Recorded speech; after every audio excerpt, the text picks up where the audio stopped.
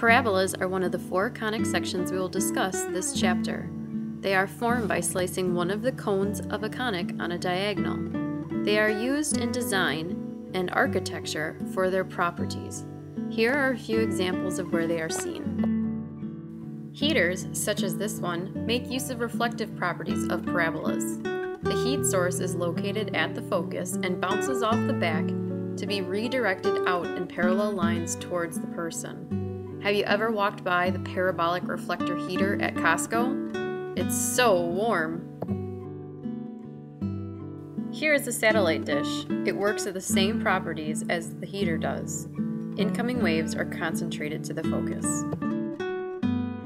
Parabolic microphones like this one are used on the sidelines of NFL games to gather more sound. They work similarly to the parabolic heaters, but opposite. Sound waves bounce off the back and gather at the focus where the microphone is located. This way you can hear all the good grunts and hard hits of the hard-hitting action.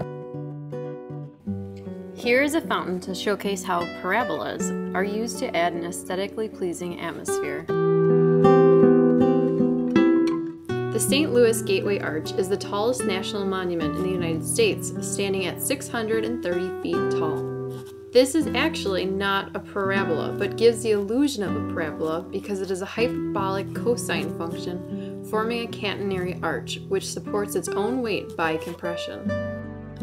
The Golden Gate Bridge in San Francisco is one of the most well-known suspension bridges in the United States. The cables act as suspensions to hold up the bridge, these cables also form a hyperbolic cosine function, which are not in fact parabolas, but give the shape.